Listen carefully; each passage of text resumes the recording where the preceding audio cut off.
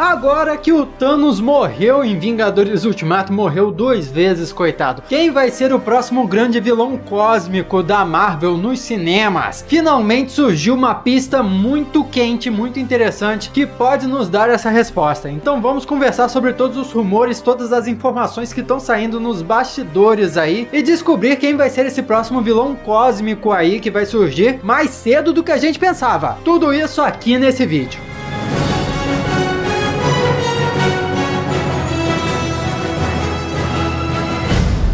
Como vai? Tudo bem? Eu sou o Miguel Loquia, muito bem-vindo de volta aqui a esse canal. Se você for novo por aqui, vai clicando em se inscrever e ativando as notificações para não perder os próximos vídeos. Tem vídeo todo dia aqui falando desse mundo de cinema, de quadrinhos, de super-heróis que a gente gosta pra caramba. É só perguntar quem já é inscrito aqui que o pessoal já sabe. Pergunta aí. É o seguinte, eu já venho fazendo vários vídeos aqui recentemente sobre o futuro da Marvel e informações que estão saindo nos bastidores aí, inclusive do posicionamento que a Marvel vai ter em dividir o núcleo cósmico do núcleo que vai ficar aqui na Terra e cuidar de problemas grandes sim, mas políticos, mais mundanos aqui. Sabe como a gente conhece os Guardiões da Galáxia e os Vingadores? Pois é, na fase 4 da Marvel, na fase 5 provavelmente também, vai haver uma divisão clara assim, só que com muito mais personagens no espaço e muito mais personagens aqui na Terra. E um desses personagens mais cósmicos será exatamente a Capitã Marvel, que já é uma personagem que fica mais no espaço do que tudo. Em Vingadores Ultimato, na maior parte do filme, ela estava longe, perdida no espaço. Então nós vamos acompanhar o que ela anda fazendo lá no espaço. E como o próprio Kevin Feige falou, o grande cabeça, o cabeção, cabeça grande na Marvel Studios, a Carol Danvers, Capitã Marvel, vai assumir uma posição de liderança dentro do universo cinematográfico da Marvel. Então nós podemos especular aqui, se a Capitã Marvel vai assumir uma posição de liderança no espaço, espaço, talvez na Terra outra pessoa assuma essa posição de liderança. Talvez o Pantera Negra, olha, é uma possibilidade interessante.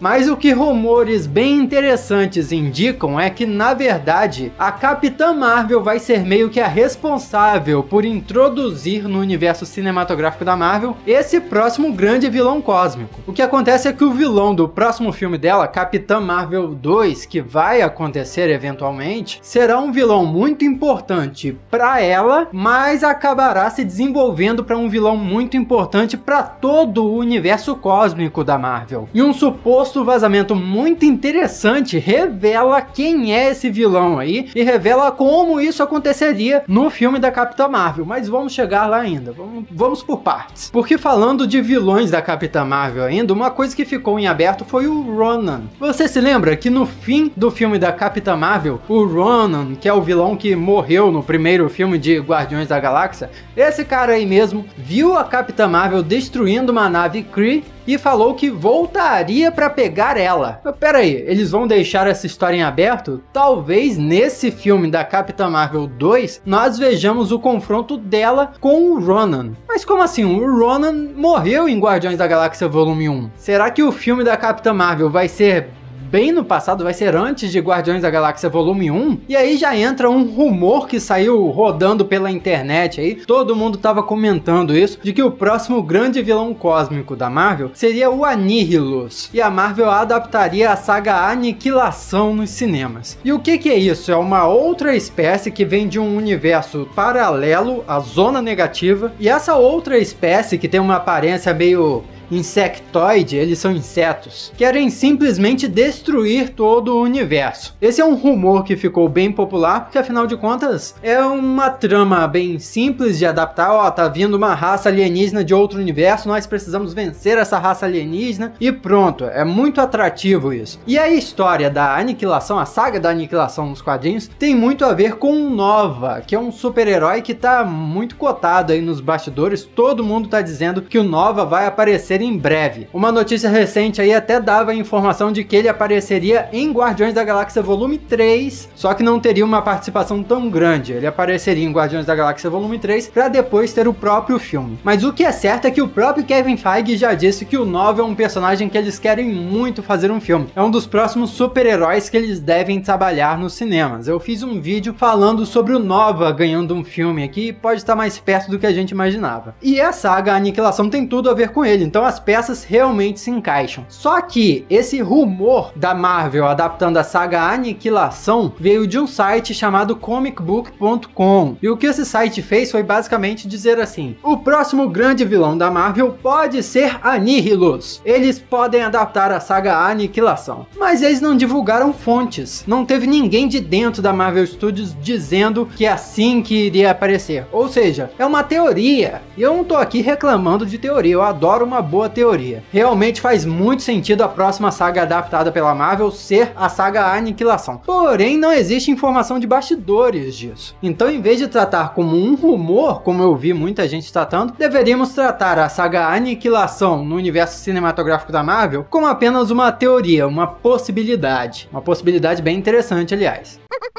Mas o que é verdade então, no fim das contas? Recentemente, num fórum Reddit, um usuário chamado The Marvel Scoop Master postou quais seriam os próximos grandes vilões da Marvel. E ele tinha essa informação porque, segundo ele, ele trabalhava dentro da Marvel Studios. Ele era uma pessoa que tinha acesso a esse tipo de informação. Mas muito bem, qualquer pessoa poderia chegar lá e dizer: Ó, oh, eu tenho acesso a informação privilegiada e falava qualquer besteira. Só que os moderadores do Reddit confirmaram com ele que ele de fato trabalha nos lugares que ele disse que trabalhava, sem dar muitos detalhes, afinal de contas, não poderia poderiam descobrir quem ele é, né? Ele tem que vazar informação escondido, na maciota. É claro que ele ainda pode ter inventado isso, é claro. Porém, as informações que ele deu fazem muito sentido e como eu já falei aqui, os moderadores verificaram que ele de fato é uma pessoa que pode ter acesso a essas informações. Ou seja, sem um anúncio oficial, não tem como chegar mais perto da verdade do que isso. E ele já começa confirmando aquelas informações que a gente já tinha antes de que a Marvel de fato pretende pretende dividir as próximas fases do universo cinematográfico da Marvel em núcleos mais mundanos focados na Terra e núcleos mais cósmicos, espaciais. E os vilões que nós veríamos no futuro, além dos básicos que vão aparecer em todos os filmes de super-heróis, são dois grandes vilões, um pro núcleo mundano e outro pro núcleo cósmico.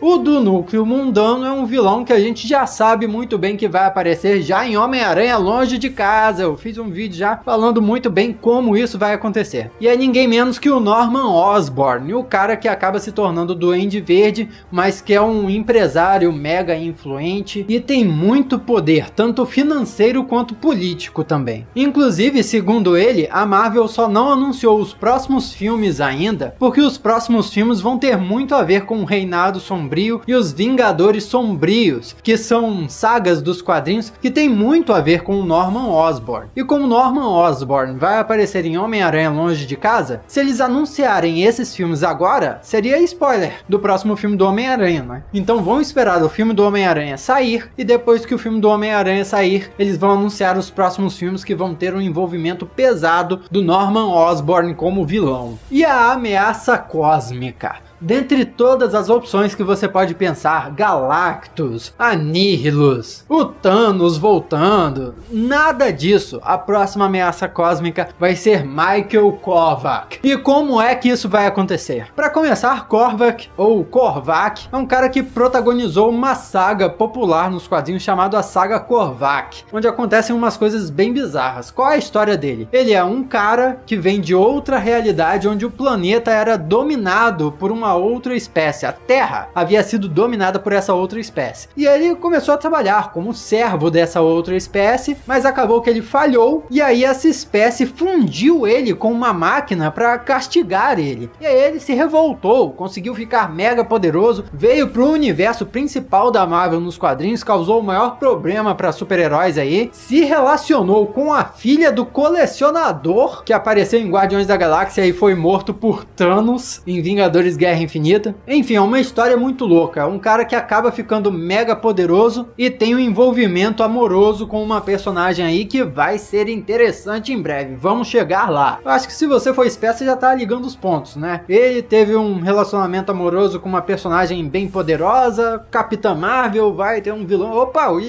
você já tá entendendo, né? Vamos chegar lá aos poucos. Calma aí.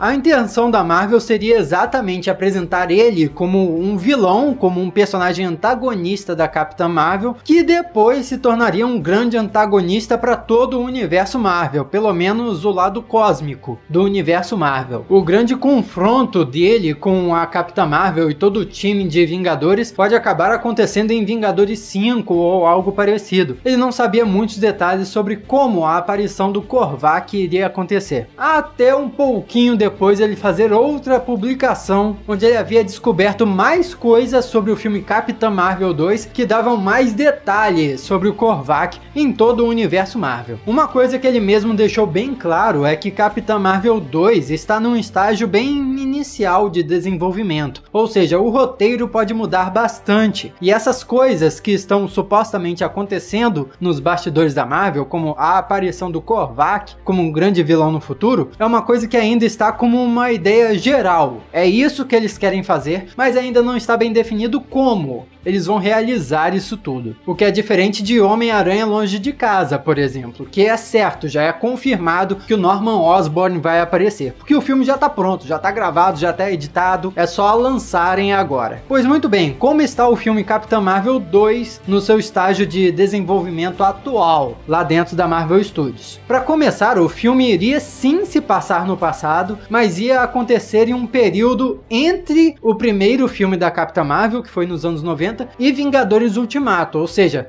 o filme poderia se desenvolver durante esse período de tempo todo. A gente poderia ter vários saltos temporais, vários flashbacks dentro de um filme só, o que já resolveria aquele problema que eu levantei aqui um pouco antes sobre o Ronan, que é um vilão que já morreu dentro do universo cinematográfico Marvel, porém em algum momento teria que entrar em confronto com a Capitã Marvel. Afinal de contas, já deram uma pista disso no fim do primeiro filme dela. Também já é certo certo por enquanto que não vai ter um filme só da A-Force, ou seja, uma equipe só de super-heroínas dentro da Marvel. Isso não deve acontecer. E também deve ser explicado por que, que a Capitã Marvel fica tanto no espaço. Por que, que ela não fica na Terra quase nunca? O que é uma coisa que a gente quer explicação já há muito tempo. O filme exploraria mais uma vez a guerra entre os Kree e os Skrull, que pelo jeito tá longe de acabar. E nessa confusão toda, Carol Danvers, a Capitã Marvel, descobre sobre uma suposta super arma, uma arma secreta que um dos exércitos tinha escondido. E daí ela vai atrás dessa super arma para descobrir o que que é e descobre que essa super arma é um cara, é o Korvac. E isso já é interessante por um motivo, porque a gente não sabia qual seria um vilão digno da Capitã Marvel, já que ela consegue sair batendo em todo mundo. Quem seria poderoso o suficiente para ser um desafio para Capitã Marvel? Tá aí, uma arma secreta dos Kree, o Korvac pode ser essa ameaça. E aqui fica uma observação bem interessante. Eles devem apresentar o Korvac no universo cinematográfico da Marvel, mas ele vai ser só inspirado no Korvac dos quadrinhos. Deve ser bem diferente, porque como eu falei, a origem do Korvac nos quadrinhos é bizarríssima. Ele por si só é um personagem bizarríssimo. A saga Korvac que aconteceu foi lá nos anos 70. Você pode imaginar o que a galera inventava nos anos 70 nos quadrinhos. Muita coisa legal, mas muita coisa doida também. Porém, na história do filme, quando a Carol Danvers encontra o Korvac, ela se simpatiza com ele, ela gosta dele, porque afinal de contas os dois têm uma coisa muito forte em comum. Os dois foram experimentos dos Kree. Os dois serviram de ratos de laboratório para os Kree. E daí eles ficam miguxos. Provavelmente é desenvolvido um romance entre eles. Mas aí eventualmente o Korvac, com suas ambições próprias, trai a Carol Danvers sai a Capitã Marvel e fala: vou seguir meu próprio caminho. E a Capitã Marvel fica pau da vida. Bem parecido, se você for pensar, com o que deve acontecer com o Mistério em Homem-Aranha Longe de Casa. Porque todo mundo sabe, a essa altura do campeonato, que o Mistério é um vilão do Homem-Aranha e ele tá só fingindo ser um super-herói, mas eventualmente o Homem-Aranha vai descobrir que esse cara é um traíra. Pois é, a mesma coisa deve acontecer entre o Korvac e a Capitã Marvel. Segundo essa informação vazada, a Carol Danvers acabaria lutando contra ele para proteger os próprios Kree, que são os vilões da história. Ela estaria protegendo os vilões dessa super arma que eles próprios criaram. Claro que no fim ela venceria, porém o Korvac conseguiria sobreviver, conseguiria fugir de alguma forma. E é aí que entra um negócio interessante, porque como esse filme vai ser no passado, Capitã Marvel 2, haverá um salto no tempo em algum momento, tipo em um filme dos Vingadores futuro, que a Capitã Marvel vai aparecer, sabe? Vingadores 5 ou Novos Vingadores, qualquer filme desses. O Korvac iria voltar, mas ele estaria bem mais poderoso, porque afinal de contas passaria bastante tempo. E o fato de Capitã Marvel 2 ser no passado é bem interessante por isso, porque ela apresentaria um super vilão que no futuro, com o passar do tempo, se tornaria bem mais poderoso e bem mais ameaçador do que foi quando ele enfrentou ela no primeiro filme. E vamos lembrar que para ser um vilão de Capitã Marvel 2, para ser a arma secreta dos Kree em Capitã Marvel 2, o cara já deve ser poderoso nesse filme. Imagina quando ele voltar. E como outro vazamento interessante que saiu recentemente também indicou, a Marvel estaria planejando fazer filmes de três equipes de Vingadores: Novos Vingadores, Jovens Vingadores e Vingadores Sombrios. Pelo menos uma dessas equipes de Vingadores deve ser liderada pela Capitã Marvel, não é? Ou talvez haja uma quarta equipe aí, tipo os Supremos, como um rumor também estava rondando aí de que a Marvel faria um filme dos Supremos. Quem são os Supremos? Talvez eu faça um vídeo explicando um pouquinho melhor sobre essa equipe em breve, mas enfim, a Capitã Marvel poderia liderar os Supremos. E aí nós veríamos esse filme da Capitã Marvel no passado, enquanto no presente nós continuaríamos acompanhando ela, mas nessa equipe de super-heróis. E aí esses dois períodos de tempo iriam se conectar quando esse grande vilão cósmico, o Korvac, aparecesse como uma ameaça. Eu acho bem interessante isso e eu espero que aconteça.